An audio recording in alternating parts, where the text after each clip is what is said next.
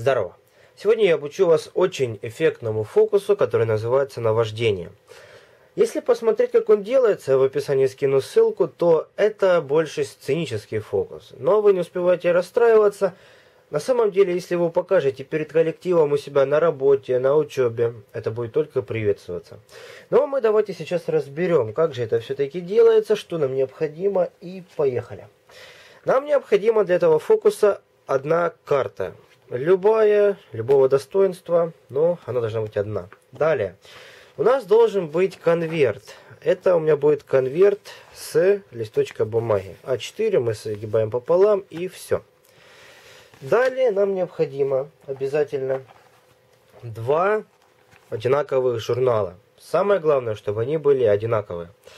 Я взял вот такие вот автобазар, это не реклама, просто все, что у себя нашел. Да, они не одинаковые, но мы будем использовать страницу, которая одинаковая. Вот эту вот верхнюю часть. Я буду вам демонстрировать, что нужно делать и как. То есть у нас должно быть два одинаковых журнала, они должны быть намного меньше, чем эти, но приблизительно четверть передней части, вот такая. Это может быть брошюрка, реклама всякая, может быть телефонные номера, вашего города, карта города, где вы проживаете. Без разницы, что, но должно быть хотя бы как четверть вот это вот моего журнала. Далее, что мы делаем? Мы должны выбрать какую-нибудь страницу, одну с центра. Если у вас журнальчик, вот у меня здесь на, сейчас скажу, на 114 страниц, это просто прекрасно. То есть такого журнальчика хватает с головой. Если же у вас меньше страниц, это плохо. Чем больше, тем лучше. Почему так и почему мы должны выбрать карту с центра, да, не карту, а страницу с центра? Просто если вы будете делать как я, я буду это фокус объяснять на первой странице. Потому что здесь у нас одинаковые части есть и в одном и во втором журнале. Если у вас одинаковый журнал, то понятно, вам не нужно выбирать какую-то схожую страницу. У вас все будет идентично. Вы выбираете с центра одну страницу и с этой страницы вы все проворачиваете. Э, если вы возьмете, к примеру, первую из первых 10 страниц, а у вас их там 200, и если зритель скажет стоп и будет пол книги уже пролистан, то тогда возникнет вопрос, как это средина книжки, средина журнала, а страница 10. Поэтому, если у вас там 200 страниц, берите сотую страницу и с этой сотой страницей все проделайте. Приблизительно пополам. Если же будет меньше немножко, ничего страшного, больше тоже ничего страшного. Но я советую брать строго средину журнала, книги, что вы взяли. Итак, вот у меня есть журнальчик. Я буду брать вот эту вот часть верхнюю. Я ее уже оторвал. Вот. Это третья страница, и мы видим здесь написано четко слово реклама и третья страница. Так, смотрим здесь. Журнал, конечно же, другой, но страница идентичная. Тоже реклама и три. Все, этот журнал нам подходит. Что мы делаем? Как я уже сказал, журнал был, журнальчик должен быть книжечка хотя бы вот такая. То есть одна четвертая этого большого журнала. Мы берем и вырываем, как вам угодно, эту страницу из одного журнала. Можно вырвать кусочек. Можно вырвать полностью страницу. Но, как мы понимаем, будет эффектнее, если у нас будет полностью оторванная страница, но она будет вмещаться в конвертик. Просто если мы возьмем, оторвем страницу и потом ее сложим пополам, то, конечно же, это будет понятно, что вы заранее подготовили. У меня вместо конвертика выступает А4 вот такой вот листочек. То есть, если мы так приложим, приблизительно вот так вот мы сейчас вот и оторвем. Раз, два и вот так вот мы закончили. Три. Все. То есть, у нас есть супер листочек, который подходит по мельчайшим деталям. То есть, второй уже такой вырвать будет очень и очень тяжело. Значит, мы берем, кладем это в конверт закрываем конверт Если у нас конверт хороший, то он, конечно же, здесь будет с такой э, клеем. Мы его мочим и закрываем. Все, это у нас уже готов, готова первая часть. Этот журнал, который мы оторвали, мы не выбрасываем, а только оставляем. Это у нас будет журнал, который в фокусе. Это готово у нас к фокусу, и это готово. Для чего же второй журнал? А нам нужно вырвать и навязать зрителю, сейчас я вам покажу, вот такую вот часть этой же страницы. То есть, если вы взяли сотую страницу, там с журнала, с книги, вырвали сотую страницу, со второго идентичного журнала мы отрываем кусочек. Вот так вот. Бррр, все, этот журнал можно уже выбросить. Этот кусочек нам нужен по размерам, чтобы он залез за карту. И мы должны обязательно следить, какой он частью к нам. Получается, если мы держим карту вот таким вот образом, и мы будем вот так пролистывать журнал, то когда мы будем проворачивать весь фокус, эта часть должна быть к зрителю, смотреть на него. Но, а как же проворачивается фокус? Вот эту вот карту вместе с этой бумажечкой мы кладем в карман.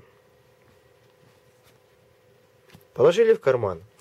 Конвертик, как мы понимаем, если мы показываем где-нибудь в аудитории, где-нибудь на работе, в офисе, это мы должны отдать кому-нибудь. Если же нет такой возможности, можно взять, к примеру, подвесить его на скрепку, на доску, где какие-нибудь графики, или можно просто простым методом, самым простейшим, на скотч прилепить к стене.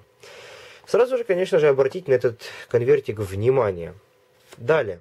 Мы берем журнал, который оторвана вот эта вот часть. Берем, достаем, показываем зрителю обычный журнальчик. Но, конечно же, если мы быстро пролистаем, то зритель не заметит то, что у нас одной страницы нет. Мы можем дать проверить зрителю карту. Но, конечно же, мы должны спальмировать вот эту вот нашу оторванную часть в руку. То есть отдаем зрителю карту, он проверил, и далее мы обратно это все помещаем. Теперь мы держим в левой руке наш заранее заготовленный гиммик.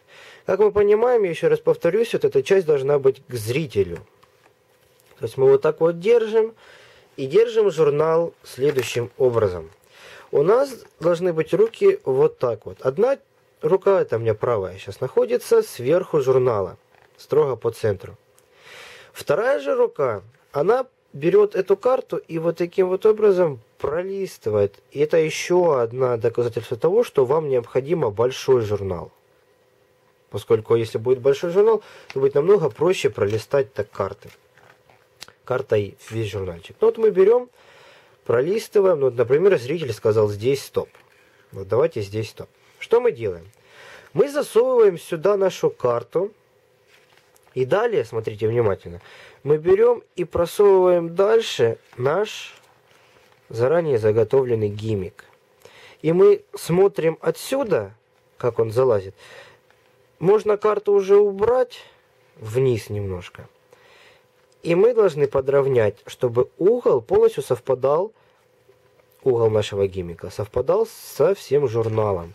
Чтобы не было такого, что это наша штучка вообще выпирает вот так вот.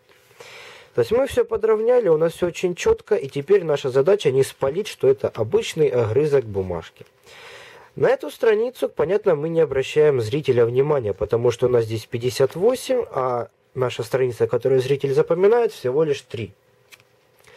И вот мы берем, показываем зрителю вот таким вот образом нашу страницу он запоминает, но мы, конечно же, знаем слово реклама и номер 3. Это страница. Вот про что я вам говорил. Зритель нам сказал стоп в центре, например, нашего журнала. Но у нас здесь страница 3. Если же мы возьмем там страницу 80, 100, то никаких вопросов не будет. Он запомнил то, что у нас здесь написано, и все. Ну а так, посудить логически, пол журнала пролистали, и тут вдруг страница 3 нехорошо. Ну вот, например, все. Он запомнил эту страницу, он запомнил слово, которое необходимо. Далее мы берем аналогично вверх поднимаем карту и забираем вот этот вот листочек под картой. Теперь это все мы кладем к себе в карман и отдаем этот журнал, где вот эта вся страница вырвана, отдаем зрителю. Он кладет на нее руку, к примеру. Далее мы берем маркер. Если это будет на большом расстоянии фокус, обязательно нужно маркер такой жирный и большой лист бумаги. Соответственно, А4 очень хорошо подойдет. И мы далее начинаем считывать мысли, просить зрителя, чтобы он думал о странице, думал о слове. И вот, к примеру, вот, вот все уже готово. Мы начинаем писать на листочке, мы пишем цифру 3, мы пишем слово, реклама, и все, фокус проведен. Осталось только все рассказать. Держим листочек, держим листочек перед собой и просим зрителя назвать число одного примеру. Он говорит число 3, страница 3. Далее мы просим сказать слово. Пожалуйста. Он говорит слово, например, реклама, как в нашем случае. И далее мы показываем, спокойно переворачиваем этот листочек, и там написано 3 реклама. Уже эффект. Но далее мы берем этот конверт, просим открыть зрителя. Он открывает, и у нас здесь кусок, кусок газеты. И далее мы открываем то место, ту страницу, где у нас это вырвано, и зритель проверяет, что здесь все подходит идеально, ровно, идеально четко. И то есть, если для эффектности, можно даже рвано вырвать, это такой же совет. Можно сделать вот так вот рваную не чтобы было ровный кусочек вырванный, а чтобы он был с такими извилинами. Тогда это вообще будет все очень четко. Вы так показываете зрителю, и он подходит идеально под этот журнальчик. Все, фокус получился, все идеально, все в восторге, хлопают, вы молодцы, всех удивили. И вот такой вот был фокус. Всем спасибо за внимание, подписывайтесь, до новых встреч.